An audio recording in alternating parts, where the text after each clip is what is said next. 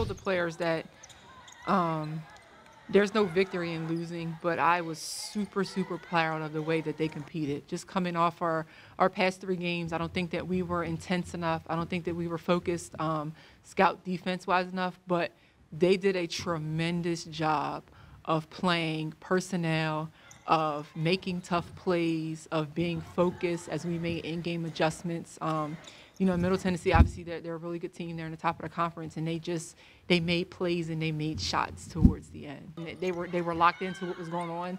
Um, KP was locked in because she was mainly the one that was um, either sagging off or, or, going to go double. Kayla made a great play at the end of the game to come from behind and get a steal.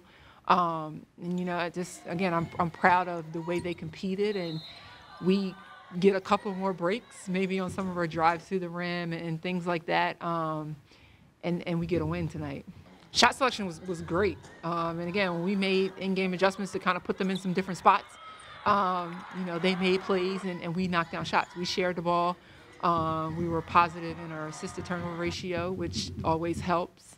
Um, but a couple breaks here and there, and you know, it's it's in our favor. The substitution patterns I thought were I thought were good. You know, people that were in there, they gave us good minutes. Um, you know, when it just gets down to the end, um, kind of going with who's having some success and who's making plays and stuff like that.